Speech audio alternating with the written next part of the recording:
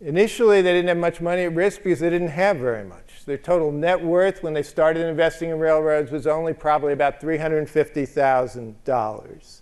Their initial investment was $7,500. Their total investment, probably at the beginning of the building of the Central Pacific, was around $20,000. And this is in a railroad that would cost $100,000 a mile. They make their money by financial speculation, financial maneuvers, and construction. They did not have a lot of money initially at risk in these railroads. And the result is that they're going to become the most hated men in California. I can just leaf through some cartoons here because this gives you a sense of what goes on. This is going to be the Central Pacific. This is the Guardian of California, which pretty much is exploiting it, keeping out people.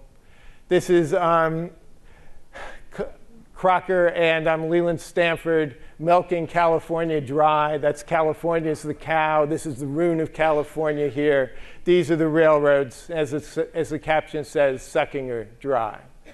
This is three of the big four. The three were still living at the time, riding the railroads, keeping um, the Railroad Commission in one hand and the legislature in the other hand, and corrupting California. Okay, my interest is in this part of it how these railroads worked, how they made their money, and less in this part, which you'll hear about later, because most of the accounts end with the driving of the Golden Spike. The railroad's constructed, the job is done, and it's time to move on.